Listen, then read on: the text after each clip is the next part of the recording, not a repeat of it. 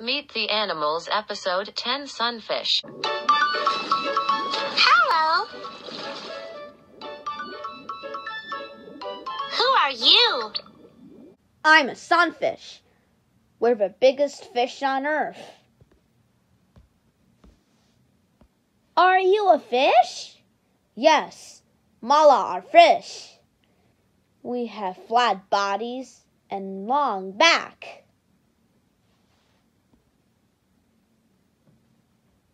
Where do you live? Sunfish live in the ocean. We like to swim in warm water. What do you eat? We eat seals, sharks, and orcas. They are called kelp. We swim our mouths open to catch kelp. Do you have any enemies? Sharks and whales like to eat us. Sometimes we get stuck in people's fishing nets. Do you ever sting people?